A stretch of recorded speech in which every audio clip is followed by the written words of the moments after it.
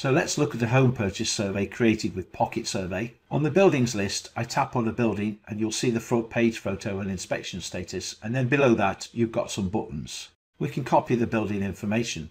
There's a button to create the PDF inspection report and one to open the generated PDF report. If we scroll down, you'll see which client this report belongs to. That is if you have multiple clients. You can turn off the clients feature in the app setup if you don't want to use it. The inspection details section shows the inspector, inspection date, inspection time, followed by some free format descriptive notes. The building details section shows more information about the building. Then there's a series of sections that make up your report. Introduction, about property, location including a Google map of the property. Then there are sections for the main building components such as outside, inside, services and grounds, followed by legal issues, risks, overall opinion and recommendations. Most of the report sections will be built from menus and tick lists that you can modify in the phrase design feature. Towards the end, you've got general building images such as floor plans, schematics and any image you want to add to your report. If you want to make changes to the inspection, select the Edit button. Let's scroll back to the top of the building record.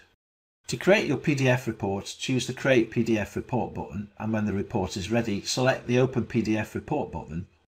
Let's look at the Phrase Editor feature. In the middle of the screen where you will see the main sections of the report. Tap on a section to expand it. Then you will see a list of building elements. Let's tap in one of these to see the phrase tick list available during the inspection. As you scroll down, you'll see descriptions, features, defects, and recommendations. If you want to view these as a long list, click the View button. You can tap in the middle to view and edit them, or tap the Add icon to add a new option. Let's add a new descriptions option to the tick list that appears when doing your assessment. Tap the Add icon, type in our new option, such as Asbestos column, tap Save and return to the previous screen and then back to the app setup screen. That's the phrase design feature. Don't be afraid of experimenting during your low cost trial. We're always on hand to give you help and support. Now, remember to get your low cost trial if you're not already a Pocket Survey user, where you will get your first month's subscription at a vastly reduced price. Remember, there's no obligation to carry on your subscription after the trial month, and you've got access to the full software, including free training and support. If you don't like the software after that, that's no problem. Just let us know and we won't bill you and you can continue your search for a digital solution for your home purchase surveys.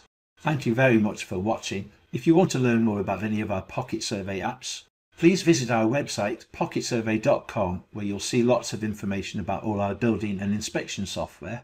So that's the Pocket Survey home purchase surveying software in a nutshell. I hope you enjoyed this demonstration. Bye for now and see you soon.